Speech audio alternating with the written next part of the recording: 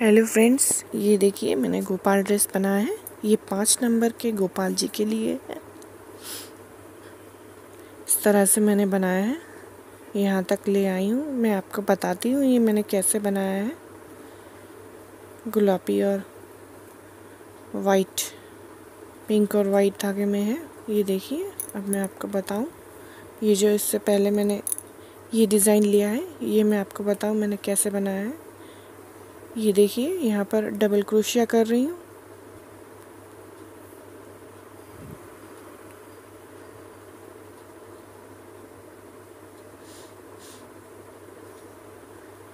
यहाँ से अब हम चेन के ऊपर से तीन chain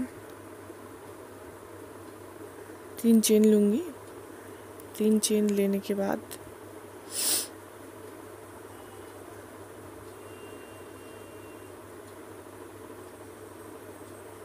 double crochet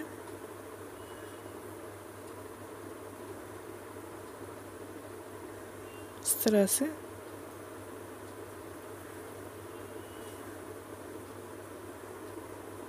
double crochet लेते जाऊँगी। तीन डबल क्रोशिया यहाँ पर, चेन को पकड़ के। तो यहाँ बीच में मैंने तीन चेन लिया है। ये डिज़ाइन मैंने किया है, तीन चेन। तीन चेन लेकर उसके ऊपर से मैंने फंदे में डाल दिया है और फिर यहाँ तीन डबल क्रोशिया किया है। अब देखिए, बैक पोस्ट करूँगी यहाँ से, इस तरह से।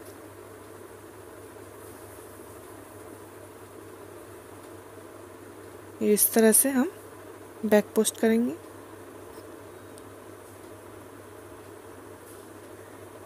ये दो हो गया। ये तीन।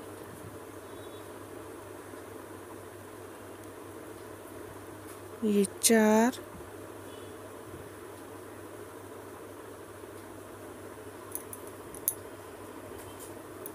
पाँच।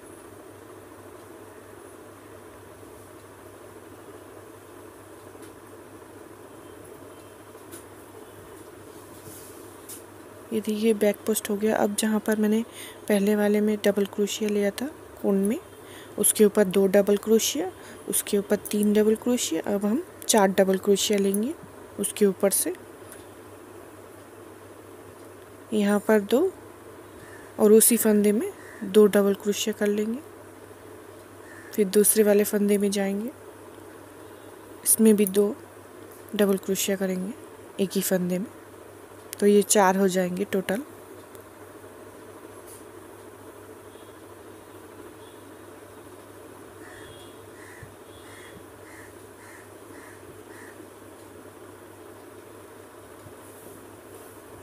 अगर आपको कुछ भी पूछना है तो मुझे कमेंट बॉक्स पे लिख सकते हैं।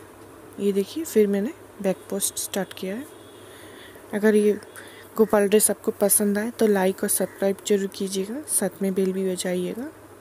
थैंक यू फॉर वॉचिंग अगर ये चोली आपको देखनी है तो मुझे कमेंट बॉक्स पे लिख सकते हैं।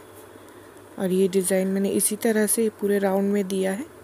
थ्री राउंड में किया है यही डिज़ाइन यहाँ पर मैंने तीन डबल क्रोशिया से स्टार्ट किया है।